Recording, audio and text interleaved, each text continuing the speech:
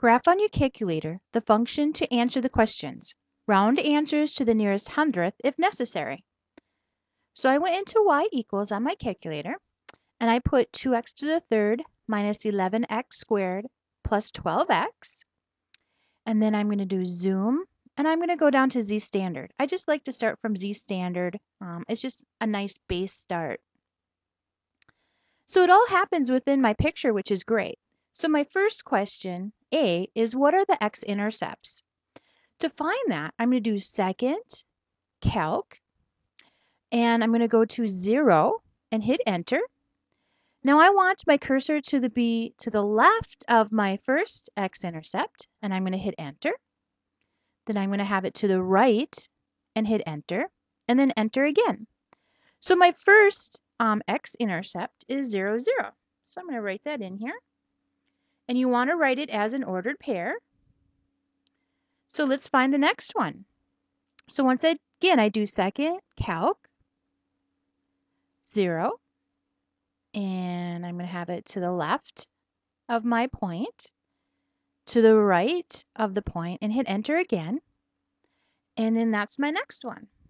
So I'm going to put a comma here, 1.5, comma 0. And of course, we have one more. So we're going to do second, calc, zero. I'm going to get a little closer here. So this is the left side, and then the right side, and then enter. And that's my next and my last x-intercept. So four, zero.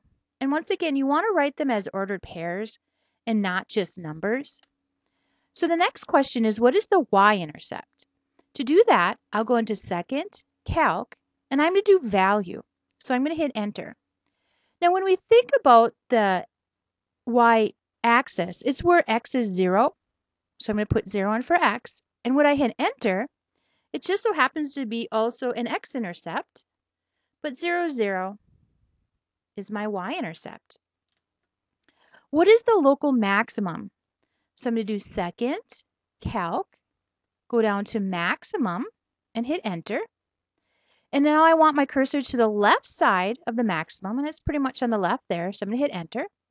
Now to the right side of that maximum, and hit enter, and enter again. Now the question wants me to round to the nearest hundredth. That's two decimal places. So my local maximum will be 0.67, comma, and 3.7 or 3.70. Now let's look for what is the local minimum. So second calc, I'm going to go to minimum and hit enter. So I'm going to go, oh my gosh, we might need to change our picture here. So I'm going to go to my window and make my Y minimum a little bit bigger so I can really see it.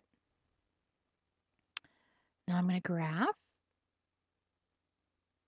Okay, so I for sure can see my minimum there. So second calc, enter for minimum. So I'm going to be to the left side of that minimum point, hit enter. To the right side of that minimum point, hit enter, and then enter for my guess. So my minimum turns out to be, my local minimum anyway, 3, negative 9. So where's the function increasing? Well, let's look at this. It's increasing from negative infinity to this point, to my maximum, my local maximum. So we have negative infinity to that maximum. And we always talk about the x. So it's going to be to 0.67. And it includes it.